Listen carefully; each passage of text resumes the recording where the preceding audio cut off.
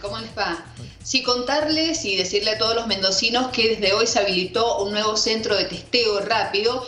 Esto está ubicado en Capital, en la calle 9 de Julio y Mosconi, en la ciudad de Mendoza. Es un trabajo en conjunto entre el Ministerio de Salud de la provincia, también Desarrollo Social y también el municipio de Capital. ¿Por qué desarrollo? Porque es un centro integrador y es un puesto fijo.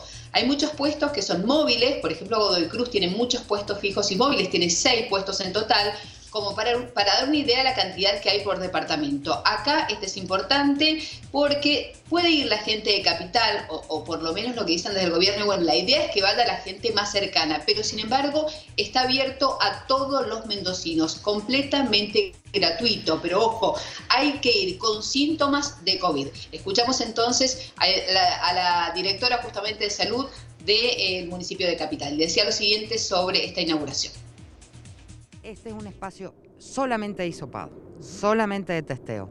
Esto se hace en conjunto con el Ministerio de Salud y es parte de una estrategia muy importante de poder realizar la mayor cantidad de testeos posible, pero no testeos al azar, sino testeos con personas sintomáticas. Esto está dirigido a la población que tiene síntomas, ¿sí?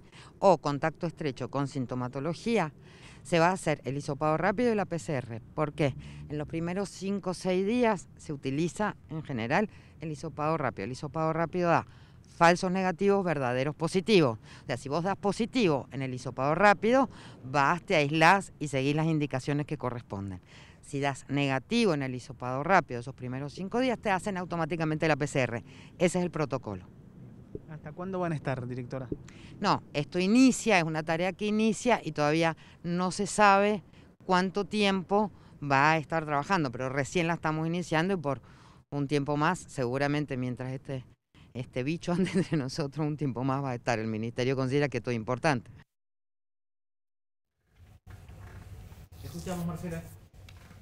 Ahora le vamos a contar exactamente dónde está ubicado este nuevo centro para que los mendocinos puedan ir al lugar y también cómo va a ser el tema de los turnos. Está ubicado exactamente en 9 de julio y Mosconi, esto es en la ciudad de Mendoza. Ahí lo vemos en 9 de julio al 3565. Se puede ir de lunes a sábado de 9 a 12 y de lunes a viernes de 14 a 17. Se entregan, esto es importante porque no es por teléfono, hay que ir al lugar, se van a entregar 50 números por la mañana, exactamente a las 8.45, y 50 números más por la tarde, a las 13.45. Es decir, que este es el número total de 100 personas que atenderían en promedio por día, por, digo en principio, porque es lo que creen que pueden por lo menos atender por ahora.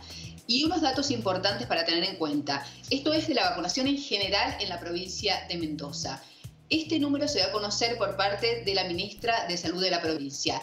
El 15% de las personas que están incluidas en los grupos de vacunación no se inscribieron. Es decir, por ejemplo, si me corresponde por tener, por ser mayor de 40 años, de 45, de 60, no me inscribí porque en realidad no quise vacunarme. Este es un número importante que está dando el ministerio, lo queríamos dar a conocer, que el 15% de las personas que les llegó su turno de vacunación optaron por no inscribirse por cuestiones personales, ¿no?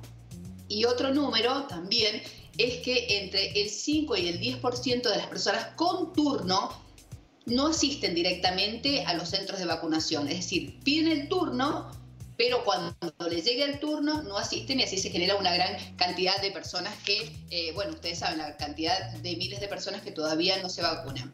Eh, porque directamente no fueron. Ahora, eh, este dato se va a actualizar en las últimas horas, pero quería incluir esto, que aproximadamente la primera dosis en toda la provincia de Mendoza ya la recibió el 35% de la población se cree que puede ser un poco más y se habla que podría ser el 36, 37 y hasta hablan de que llegan al 40, se va a actualizar por estas horas este número. Y la segunda dosis, eh, cerca del 10% de la población la ha recibido. Así que bueno, queríamos dar estos números porque son algunos de los últimos dados a conocer por el Ministerio de Salud de la provincia. Muy bien, y lo que dicen los expertos, los profesionales, muchas veces lo dijo Marta Cohen aquí en el mediodía, en el noticiero, hay que testear, testear y testear para saber dónde está el virus, a qué familia cuidar, a quién proteger y a raíz de eso poder cuidar a toda la población con respecto a esta pandemia que estamos viviendo y sufriendo aquí a nivel provincial y, mundial también. Es importante, Marcela, saber que este lugar está disponible también para que aquellas personas que lo necesiten puedan darle el uso necesario. Claro, y sobre todo porque está destinado principalmente a personas que no tienen obra social. Entonces ahí ya tienen un lugar gratuito para realizarse testeo. Si vienes para Capital, lo puede utilizar cualquier persona de la provincia, así que no hay problema con eso. Y si bien priorizan y es para personas que no tienen obra social, por supuesto que si llega, nos decían, alguien que tiene obra social, igual se lo atiende, o por lo menos se le hace el testeo rápido, no por ahí el PCR, pero sí el testeo rápido pero está abierto para toda la población. Gracias, Marcela.